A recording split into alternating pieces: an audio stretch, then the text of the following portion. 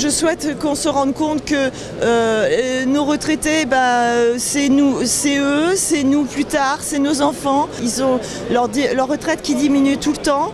À part, c'est une toute petite partie qui ont des revenus euh, qui sont corrects, qui vivent bien.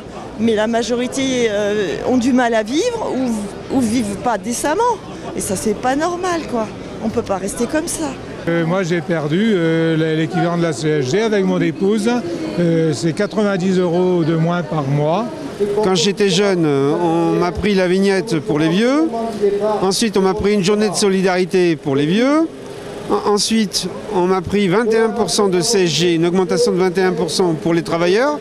Et aujourd'hui, pour les travailleurs, on leur fait croire qu'il faut refaire une deuxième journée de solidarité. Moi, j'ai travaillé deux ans de plus. J'ai fait deux ans de plus que ce que prévoyait ma retraite pour avoir un minimum garanti. Aujourd'hui, on me la ponctionne sous prétexte d'augmentation de CSG de RDS.